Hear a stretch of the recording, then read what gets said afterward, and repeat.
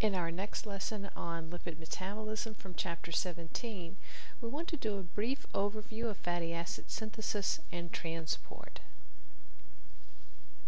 The pathways of fatty acid catabolism and anabolism, that is, degradation and synthesis, are actually spatially separate. It's accomplished in separate compartments. Recall that beta oxidation takes place in the matrix of the mitochondria, but synthesis takes place in the cytosol. And it is keeping them spatially separate that allows us to regulate these opposing pathways, as we'll see in a later lesson.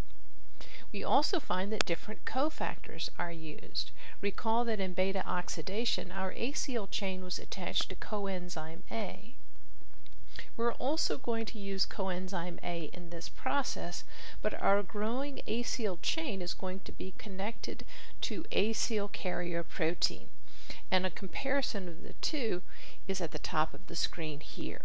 So here's coenzyme A. The adenine makes that the uh, coenzyme A molecule, and of course the business end of our molecule, as it were, is that sulfhydryl group. Here we have acyl carrier protein. It's attached to a serine side chain on the uh, enzyme that carries this group, but you'll notice that the groups present in the acyl carrier protein and coenzyme A are identical. This is pantothenic acid or vitamin B, so they clearly serve the same function.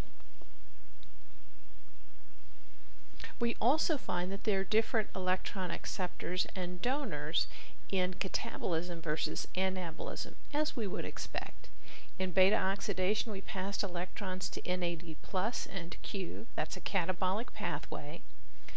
In fatty acid synthesis, NADPH is our electron donor because this is an anabolic pathway. They also differ in terms of the ATP requirements. Remember, it cost two ATP equivalents to activate our acyl group, but we only had to do that once, and the rest was sent through multiple rounds of beta oxidation. In fatty acid synthesis, it's going to cost one ATP for each acetyl unit we add to our growing chain.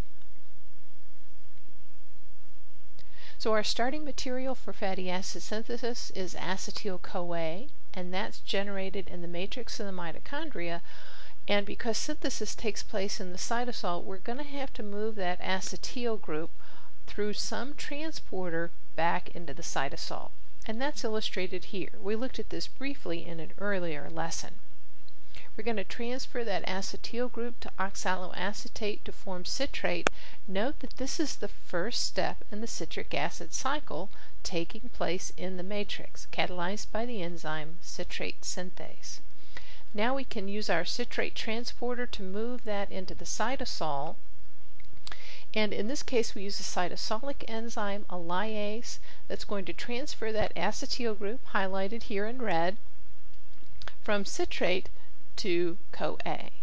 Note that we're forming a thioester bond and the energy to do so is going to come from ATP hydrolysis. So that's our cost just in terms of getting that acetyl group into the cytosol so that we can start to build our fatty acid chain.